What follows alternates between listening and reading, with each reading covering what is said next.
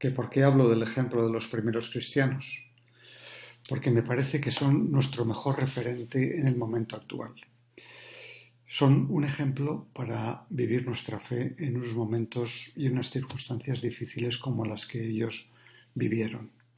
Los primeros cristianos vivieron en un ambiente pagano, pero no se retiraron de él.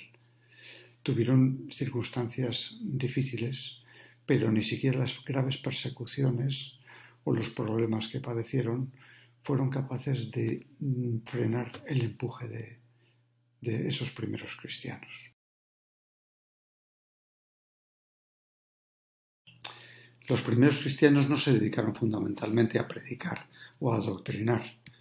No tenían una estrategia sociológica de influencia, sino que en la expansión del cristianismo lo que de verdad influyó fue más que la novedad de la doctrina, la novedad de un estilo de vida diferente.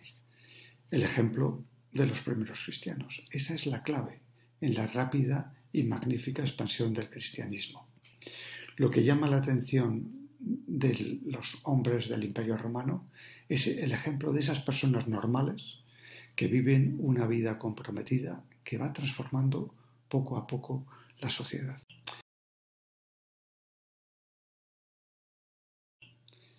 ¿Que ¿A quién recomiendo la lectura del libro?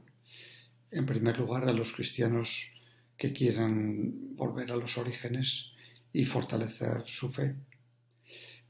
También a las personas que tengan curiosidad por conocer cómo explicaban la fe aquellos primeros escritores del cristianismo.